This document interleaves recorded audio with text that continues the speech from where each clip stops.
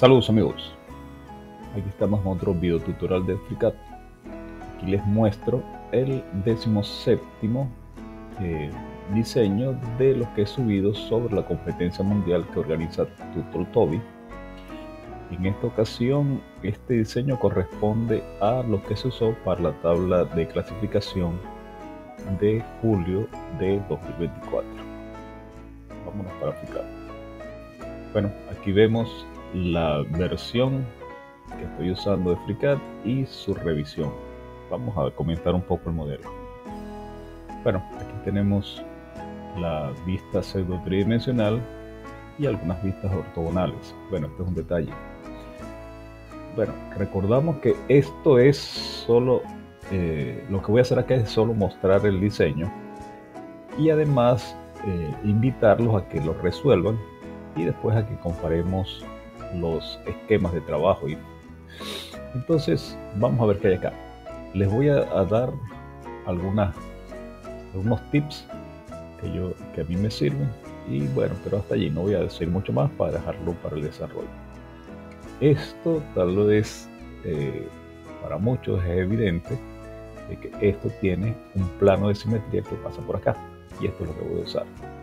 Fíjense que la masa que están pidiendo está expresado en gramos sin decimales y la tolerancia es cero. Pero además en esta tabla de clasificación dan la respuesta de una vez, 2014 gramos. Entonces, bueno, la complejidad de esto está ubicada en el nivel 4, fíjense acá, y la densidad en 7800 kilogramos por metro cúbico. Ok, ¿qué voy a hacer acá? Yo voy a presentar el diseño 3D en las distintas vistas y además eh, voy a colocarle transparencia, bueno, un poco de transparencia al diseño para comparar con, la, con las vistas. Entonces lo voy a, ocultar y a mostrar para que ese contraste sea mejor, se aprecie mejor. Bueno, acá voy a empezar con la vista frontal, con el diseño sin transparencia. Fíjense allí, vamos a colocarlo así lo más grande posible para que se vea mejor. Entonces bueno aquí tenemos esto opaco completamente el diseño. Vamos a agregarle transparencia. Y ahora vamos a ocultar y a mostrar. Fíjense que allí se ven las líneas del diseño y también se ven las líneas de la vista la vista en este caso frontal. Ven? entonces bueno, eso por una parte. Vamos a hacer lo mismo con las vistas superior y derecha. Entonces, es más, vamos a hacer una cosa. Vamos a agregar aquí también esto, un poco para contrastar y mostrar. Bueno, vamos a aprovechar acá para mostrar la vista trasera de una vez. ¿Ven? La tenemos y mostramos, ocultamos Fíjense que esta, línea no se veía anteriormente. Esto se debe a la opacidad de la, de la imagen. ¿Ven?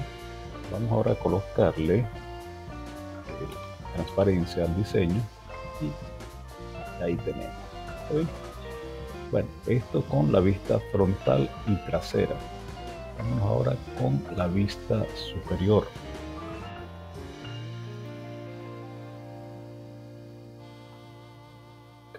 Está. La colocamos opaca. Es opaco el diseño y vamos a volverlo transparente. Bueno agregarle transparencia. Y vamos a colocar y a ¿Ven?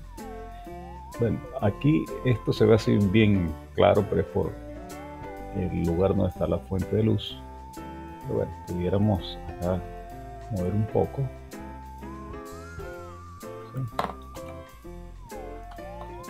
y contrastar. Ahí está. Vámonos ahora a la vista derecha. ¿Ven? La tenemos. Mostramos y ocultamos el diseño en 3D. Vamos a agregarle transparencia. Y otra vez mostramos y ocultamos. Fíjense la coincidencia plena que hay entre las las, líneas que aparecen en, las imágenes, en las vistas eh, ortogonales y las líneas que se le ven al diseño 3D. Bueno, aquí, bueno, en esta parte tampoco vale mucho la pena mm, ver el otro lado porque es en esencia es la misma cosa pero reflejada. Bueno, vamos a colocar ahora la isometría vamos a hacer una cosa, vamos a agregarle transparencia a este par de imágenes o a todas las imágenes. Bueno, ahí tenemos la isometría y vamos a hacer otros recorridos rápidos por las vistas, incluyendo la, la inferior que no la mostramos. Por cuestión no la quise mostrar porque esto estaba opaco y como el, modelo está por encima de, esto no se va a ver nada. Pero bueno, ahí tenemos la isometría, ¿Está bien? Vamos a ver otra vez la frontal. la vista frontal, la vista trasera. Fíjense, vamos a mover esto un poco para apreciar el modelo 3D. La vista superior. Lo apreciamos. La vista inferior. Está. La vista derecha.